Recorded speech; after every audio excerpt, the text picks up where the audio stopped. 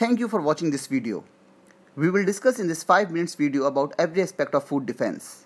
We will go through the definition first, then we will study the requirements of different standards on food defense. Then we will understand what a company should do to comply the requirements of the standard. And in last, we will see and take an idea how to make the procedure for food defense. Let's start with the definition of food defense. According to EU, food defense is the production of food products from intentional contamination or adulteration by biological, chemical, physical, or radiological agents for the purpose of causing harm to the consumer. Out of many GFSI approved standards, I will quote four main standards which are known by the food experts here in Pakistan along with one non GFSI standard that is ISO 22000 uh, which is to 20, uh, 2018 version which is very common and most used in industries for compliance and certification. Here you can see the chart. First four standards in the columns are GFSI approved standard and in the fifth column is FSMS. In SQF code 8 there is a clause 2.7 talks about food defense with four subclauses. FSSC version 5 we have a clause in additional requirement clause 2.5.3 with two subclauses.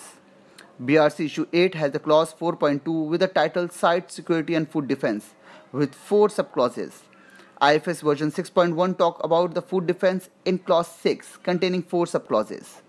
There is no specific clause with the title food defense in FSMS that is ISO 22000 but somehow we can cover this requirement in clause 8.2.4 that is PRP section in which it says that company has to consider all other PRPs necessary for preventing food with hazards. If we take all the requirements from all the standards out and blend it in the blender, we will get the following outcome as the common requirements.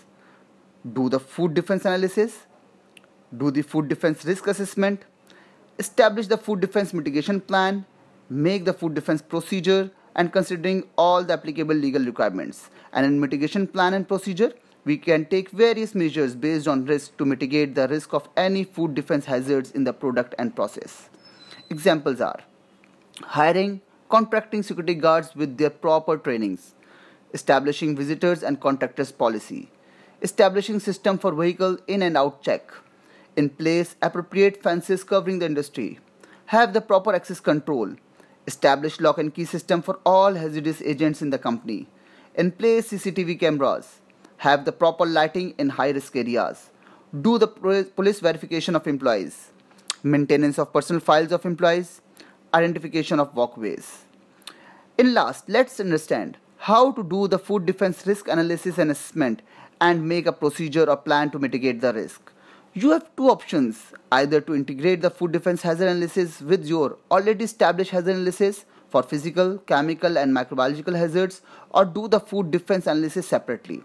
First analyze all the hazards you think likely to be expected in your process flow. Once you analyzed it, conduct the hazard analysis risk assessment using some logical approach, example, severity and likelihood, or decision tree.